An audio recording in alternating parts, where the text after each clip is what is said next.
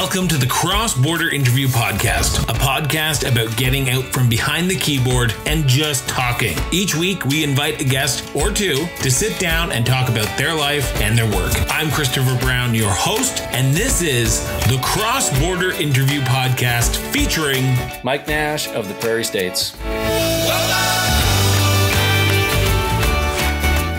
My guest today is Mike Nash, uh, one of the band members for the Prairie States. Mike, thank you so much for doing this.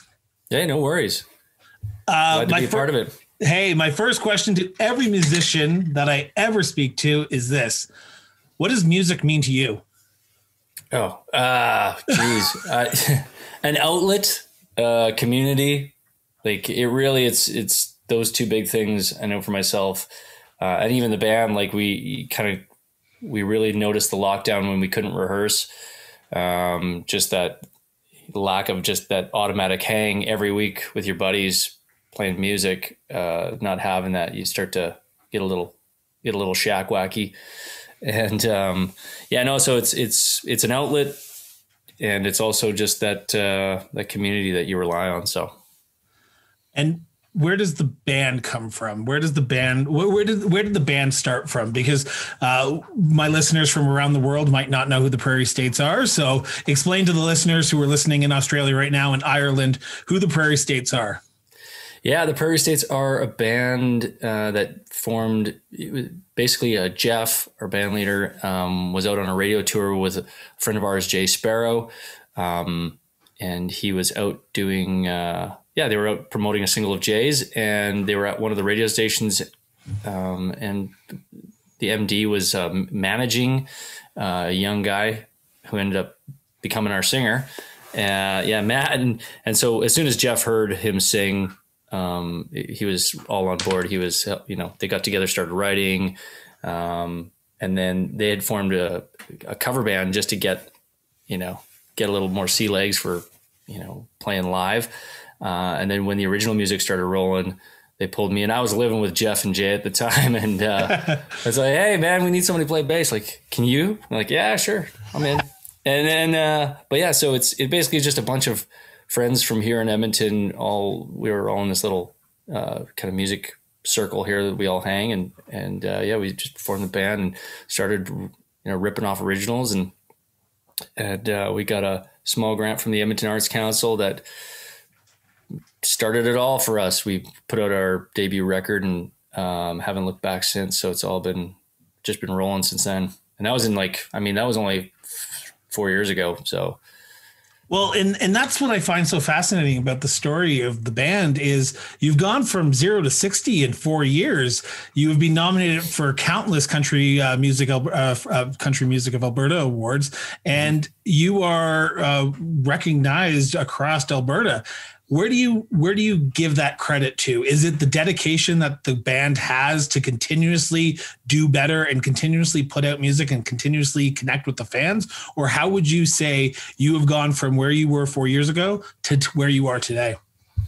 Yeah, I think a lot of it is just that we're relentless. We we just don't slow down, no stopping. I mean, we always say no slow, just go, and uh, so it's um, yeah. With after that first record, we were um, shortly in, entered into this uh, you know uh, development program, Project Wild, and that really uh, sharpened our skills and and really got us in that flow of always working nonstop. Like you just, uh, as soon as one thing's done, you're working on the next thing. And, uh, and, you know, we're planning way in advance. And, and so things like that really got us, uh, ready to roll for the, the music business side of things. And then we just love writing and playing. So it helps that we like putting out music and we, and we just haven't stopped. So, you know, as soon as that first record was finished and we started putting out our singles, um, you know, early in 2020,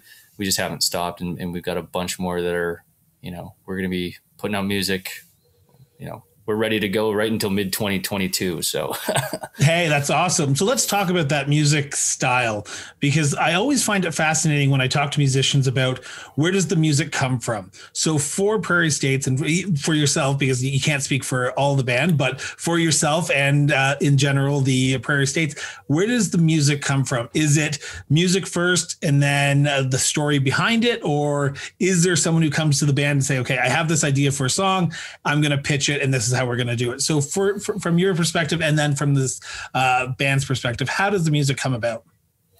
I mean, it, um, we're very much a country band where it's you know we're writing songs. You know, it's you know a bunch of people. We we have a you know a bunch of people we like to collaborate with, other songwriters uh, all over Canada and some of the states, and um, yeah, so we'll we'll now it's getting over getting together over Zoom or Google Meet or whatever it is, and uh, and yeah, we'll you know write, and then uh, you know the the songs that are really really hitting, um, then we'll bring them into the the jam space and and start working through you know the musical portion of it and really sharpening it up. And but uh, yeah you know in that case we're you know we've all come from kind of like other genres and other things like that. And i remember back from my like rock and roll days it's like it always felt like there was you know, one person kind of doing a bunch of things, and then it was like this, yeah, only one guy writes the lyrics because it's it's all this, you know, all his feelings and stuff. And it's like now it's kind of like, well, let's. There's a lot of stories that we want to build in and life experiences, and not everyone's experienced the same thing. So, by having a bunch of different people, you know, collaborating and creating these songs together, it it really uh, opens you up to to a lot more uh, things that you can write about. So and you mentioned it briefly and i want to dive into it a little bit here before we continue on is the pandemic. You've like you said you've been a band for four years now and two years into the band you have to lock yourself down or almost three years into the band you have to lock yourself down and it changes the way that bands interact and how you can uh, uh, communicate with each other. Because as much as uh, it's great for people like myself who can communicate with uh, people like yourself over a zoom uh, i imagine for a band it's a lot harder because being in the same room with someone compared to being on an internet connection with someone is yep. a lot more difficult to adapt to. So, how have you guys been able to manage this whole pandemic as a band and continue to, like you said, plan for 2022 and beyond? Yeah, I mean, we were super fortunate that we had songs already in our back pocket recorded. Um, for, you know, within 2019, that we we had a bunch of stuff ready to go for 2020. So we were very lucky that we had planned well enough in advance. Uh, and then when it came, we were already getting ready to like we're getting ready to do some more recording already, but we were getting you know demos done and all this stuff. And you know, we like to be in a room together. We've all kind of come to that conclusion that we all like to sit in a room, kind of stare each other down, you know, work through parts and, eh, of songs together, uh, as opposed to oh, you know online or you know over the course of multiple weeks through like session files and stuff through you know Logic or Pro Tools and things like that. It's just it it's just not as personable and it misses that you know that important part where we're hanging out. You know that's that contributes a lot. So yeah, the we had to slow down on the demoing, but um, and you know, without getting too deep into things, like there's uh, there's some health concerns and stuff that you know within the band that um, you know we're immune deficiencies can be a little bit more you know susceptible to uh, this terrible virus and stuff. So we couldn't even like to to roll the dice and risk um, during the peak of things. We couldn't do, but you know, near the end there, we were you know getting you know, fully distanced, masked up, um, you know, in the demos room, and it was it was. So you're able okay, to adapt. So you're able to adapt to surroundings. And I, I, completely understand where you're coming from.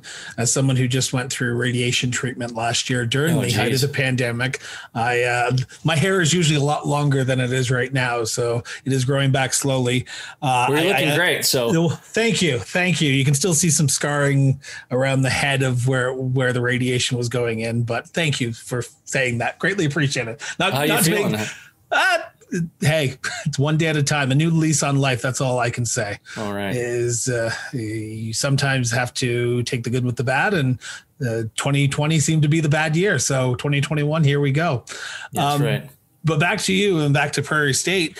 Um, the uh, you've like you said you've recorded demos up until the potentially to release up until 2021 singles you've got your album um, you've recently released a new song i just want to make sure i got it right here high that i'm riding yeah so t- talk me through that because I've listened to it a few times and I le- love it. So talk me through how that song came about because uh, the process of putting out a single like that is always the hard because you have to choose what your song is going to be. And uh, a band of five is probably a little bit more difficult to do when you're a band of one or one person saying, I just want this song. So how did that song become the new single?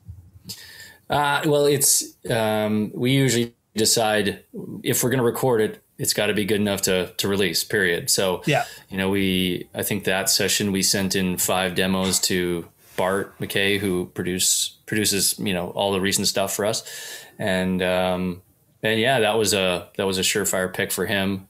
Um, and then as soon as we got in the studio and started adding a lot, you know, the dynamics to it, it just lifted, and it, it it's just such a yeah, it takes you when you get the little tingles and the uh, and the hair stands up on your arm, you know, you know it's it's good.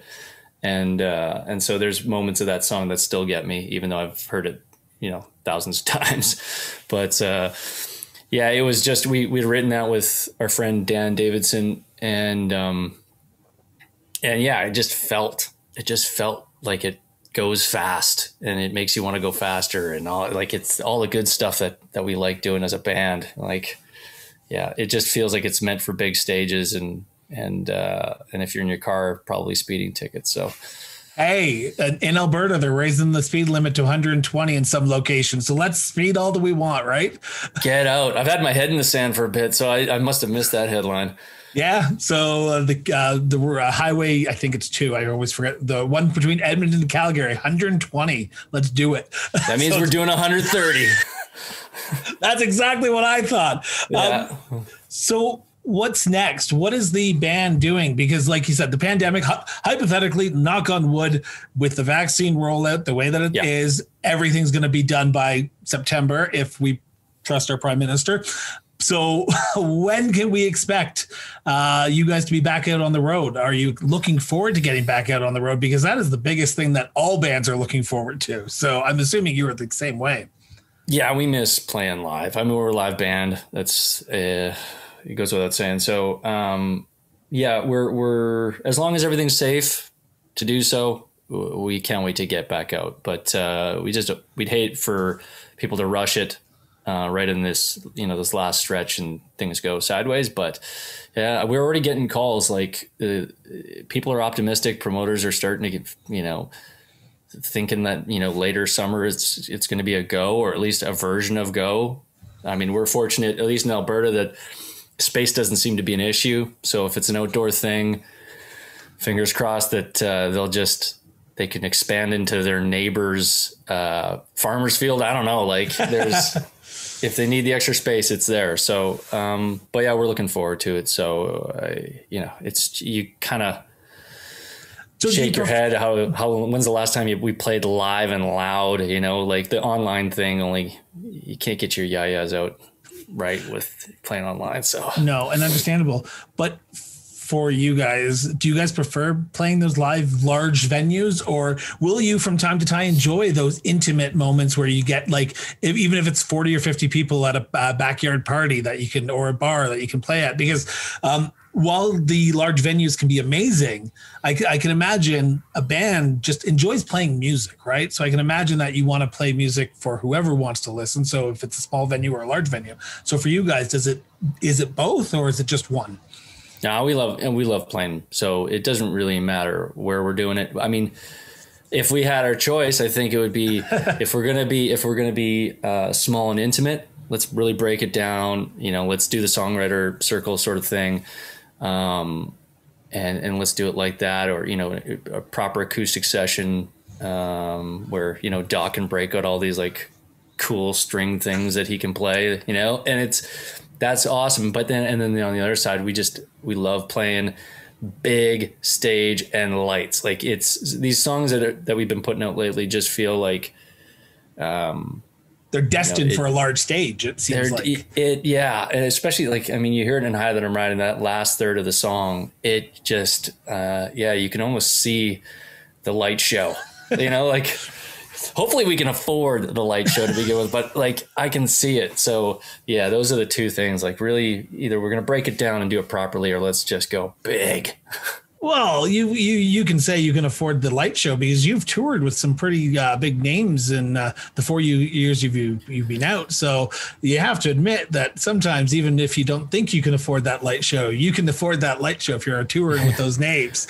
well, we've been we've been lucky. I mean, we've got to play a, a you know a few one off shows with some with some really great artists. Um, the the tours, uh, you know, we we got to those things are usually for you know independent bands they can they can be pretty costly so we got to be smart about those but yeah we're we're ready we're ready to go so but then big valley jamboree as well that was awesome that was like that's that the pinnacle nice. of cal uh, or Alberta country music right there. If you get on the stage of Big Valley, you you've made it, right? Yeah, and that night was so cool because it was with Charlie Major and Brothers Osborne. So there was like this, you know, Canadian fanboy moment with the you know the goat you know the, he's he's so awesome charlie major. He was just he was killer. And what was intimidating was you know when we were playing our set there was just this guy with a big leather jacket and big shades standing on the side of the stage like this for the whole set. And it just i felt like oh man we're gonna get dragged off a stage. Somebody's super pissed.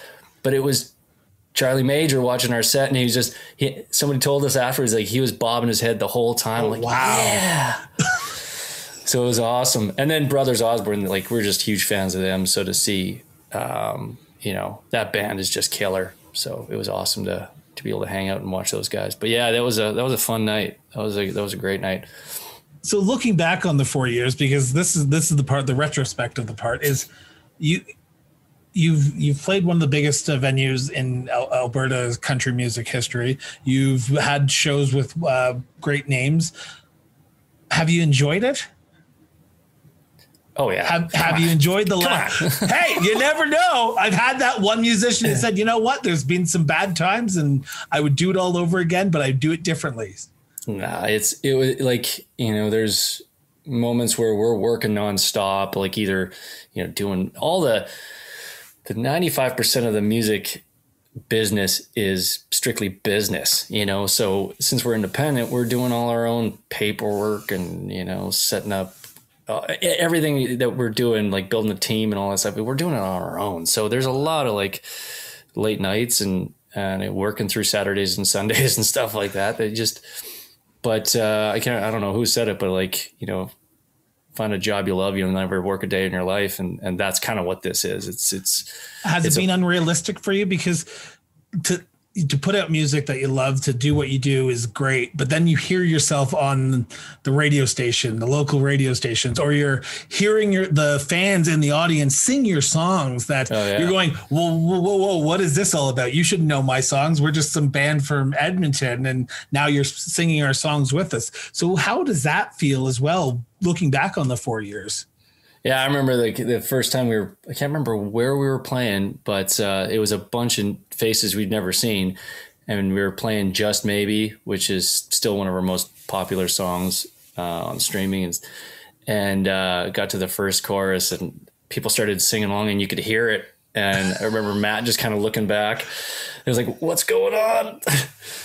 but it, it was, uh, yeah, it's it's uh, you can't really describe it it's tough to focus after that happens though. You're like, uh, you're kind of in it and you all of a sudden you start making wrong notes because you're just, you're so floored by the, the feeling that this is happening. But, uh, yeah, it's, it's, it's pretty awesome. And what's your, what's your relationship like with the fans? Because that's the one thing that musicians always love is their relationship. Are you are you guys one of those people that enjoy that reaction of people singing along that they want they're screaming your names at the, in the middle of the songs they they want you to play a certain song or are you guys more of a laid back saying you know what we're going to play our music and we love that you love our songs but we yeah. got a set list so will you adapt to what your fans are asking or requesting? yeah, I mean, I don't know if we're ever going to be, you know, looking for people screaming our names. That's just kind of that's that's a little weird.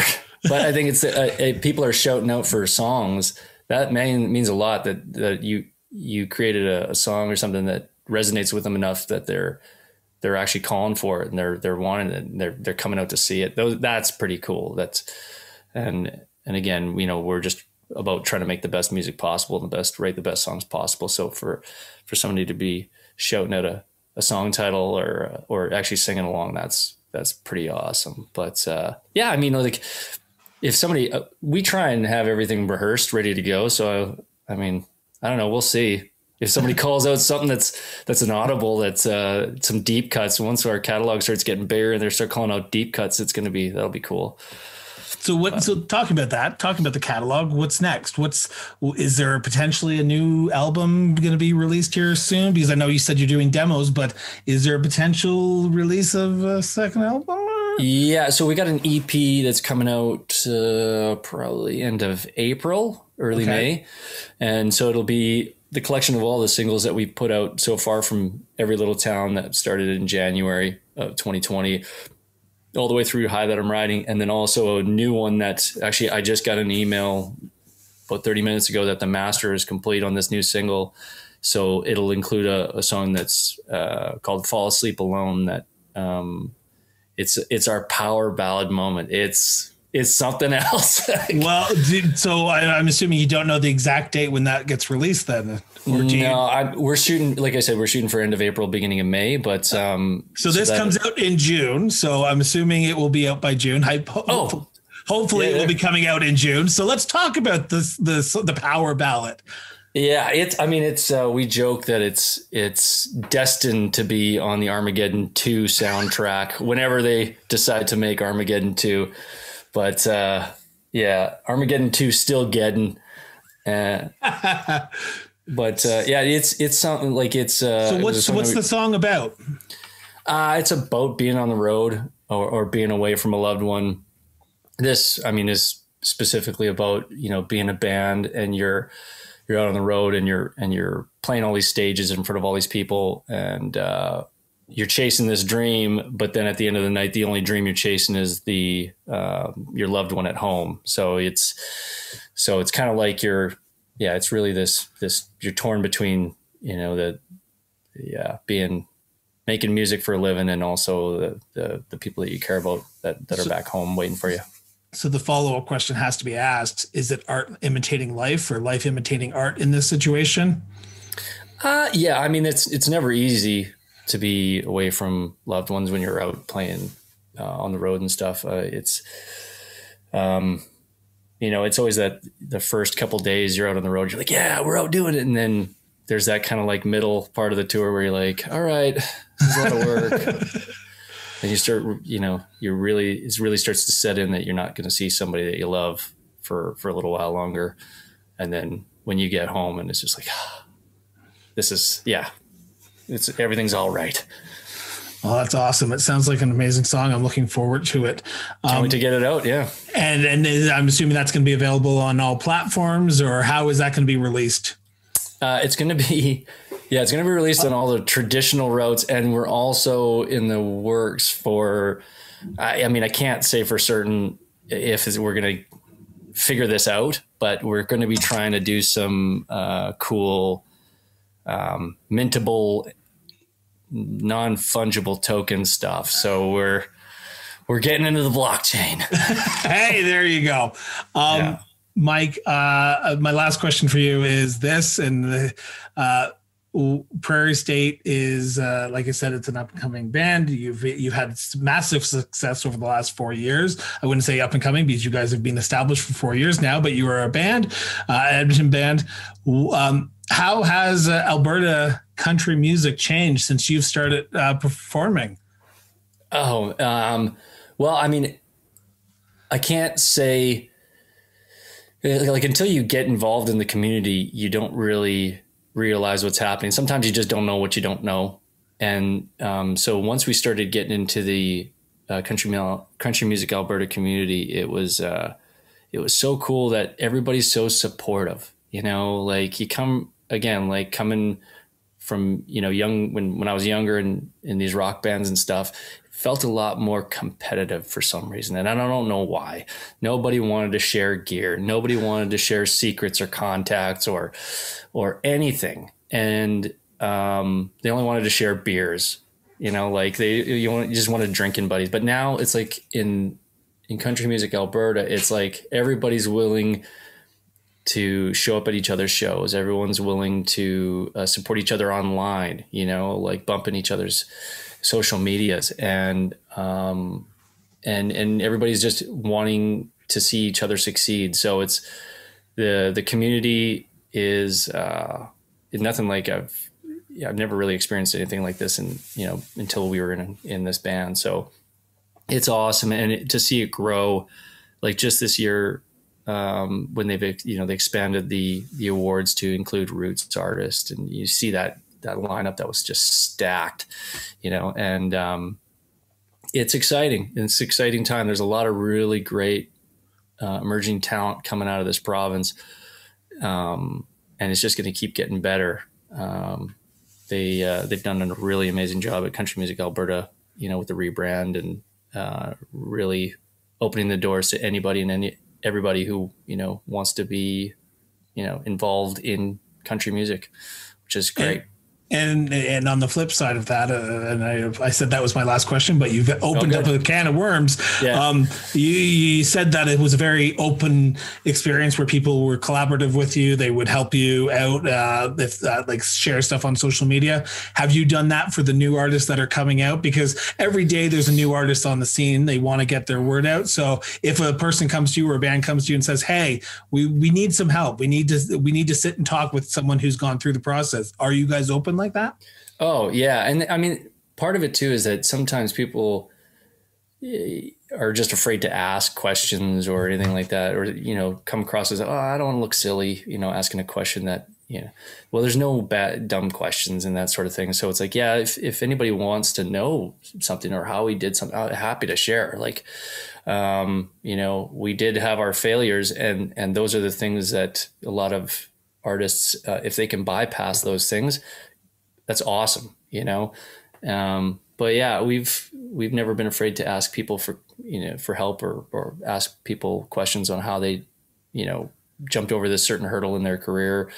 Um, and I don't think people should be intimidated or anything to ask us for advice. But yeah, it's. Uh, so, what would yeah, be the advice that you'd give what would the advice be for the the uh, up and coming artist who wants to start a band, who wants to get out there and uh, break into the country music scene in Alberta? What would the advice be to them? Be?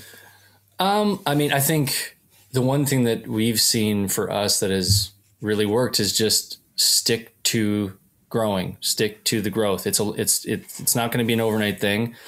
You know, somebody else's uh, stream counts you never compare yourself to what somebody else's stream counts are going to be. Like you have this is your path and you you know um, nobody's going to care about it as much as you are. And you gotta you gotta put put the time in and uh, and and you'll get there. But uh, you know it's it's just sticking to it. Half half of it is just being relentless and uh, and not giving up. But it's it sounds cliche but it really it really is uh, what would the one advice be for the people who are thinking about starting a band with people that you might not know, like Prairie uh, Prairie States did when they first started out? oh, uh, I don't, I don't know. Get get references, check references very carefully. Awesome. Mike, I want to thank you so much for doing this. Uh, for the listeners, I just want to let you know that in the show notes, uh, I will be linking the Prairie State's website address to it and all their social media pages. So go out, listen, follow them. They are amazing. Uh, High That I'm Riding. Uh, please download and listen to that song. It is amazing. And then look out for their up and coming single from this movie Armageddon 2, Armageddon. so, Still getting still getting, and I apologize, I forget the name of it. You said it quickly. So the name of Fall that Fall Asleep Alone. Fall Asleep Alone. Uh, yeah. When it comes out, I will link that in the show notes as well. So, Mike, thank you so much for doing this. No, thank you for having me. And one quick thing I, I know people always ask us, they like, well, what's the best thing we can do to help out an independent artist or something like that? Like, what's the best way to that, that we can support you. And, um, you know, like obviously coming and going to shows is, is fantastic, but the little, th- the, the smallest thing you can do is, you know, by going, listening online, if you're on Spotify or Apple Music or whatever the platform is, put the heart next to the song, like just actually like it, save it. Those little things go a long way for, for artists who are uh, just trying to, to cut through and uh, yeah, make their way. So, um, but yeah, that's anyways. I just wanted to chuck that in there. And so, thanks so much for your time, man. I really appreciate. Hey, no problem. And and like Mike said, go out and uh, hit that heart or like or share that song. Get the get the word out there for those independent artists, including the Prairie States. Thank you so much, Mike. Thanks for having us. Thanks. Thank you once again for listening to the Cross Border Interview Podcast. If you love this episode of the Cross Border Interview Podcast, head over to iTunes or wherever you get your podcast and subscribe, rate us, and leave us a review. All the links to our social media accounts are in the show notes or visit www.crossborderinterviews.ca. The Cross Border Interview Podcast was produced and edited by Miranda Brown and Associates Incorporated. Be sure to tune in for our next episode of the Border Interview Podcast. Once again, thank you. Bye-bye.